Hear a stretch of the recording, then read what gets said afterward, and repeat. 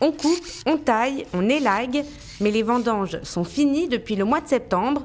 Dans la maison de champagne GH Moum, le boom des commandes de Noël est déjà bien loin. Quasiment tout a été distribué pendant l'été. Retour sur la fabrication de cet orge liquide qui ornera toutes les tables du réveillon de Noël à la Saint-Sylvestre. Ici, nous sommes à un endroit qui est très important dans l'élaboration euh, du champagne puisqu'on est euh, au niveau de la cuve d'assemblage. C'est comme si vous aviez un demi-million de bouteilles qui étaient mélangées dans cette cuve. Moi, mon rôle, c'est de me baser uniquement sur mes sensations, euh, mes perceptions de dégustation, donc c'est-à-dire euh, la couleur, euh, l'olfactif, bien sûr, et le gustatif. Et j'écris donc comme des recettes avec des pourcentages de, chaque cuve. Donc on va faire la fermentation alcoolique, donc pour transformer le, jus de raisin en alcool, en vin.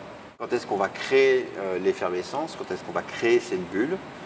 Euh, c'est en fait au moment de la mise en bouteille. À ce moment-là, on va rajouter à nouveau des ferments, des levures et du sucre. Et le secret de la fabrication du champagne, c'est de faire une deuxième fermentation alcoolique, mais dans la bouteille. C'est ce qu'on appelle la prise de mousse.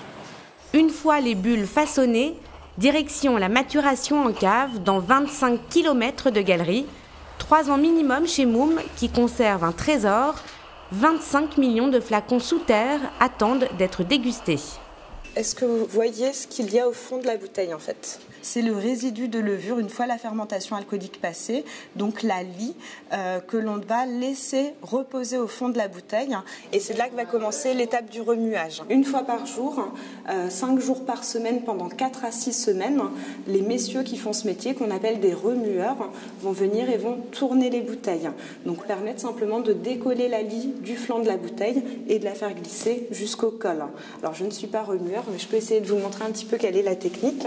Euh, il faut se placer ici, au-dessus des bouteilles, prendre la première et la quatrième, on les redresse légèrement, on les tourne vers la droite et euh, on les a comme ça remuées.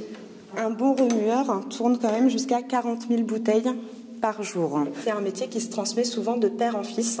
On a un monsieur ici chez Moum qui est le 18e de sa famille euh, à avoir travaillé dans notre maison et 15 d'entre eux ont été remueurs. Donc c'est vraiment une histoire de famille, côté vraiment très traditionnel.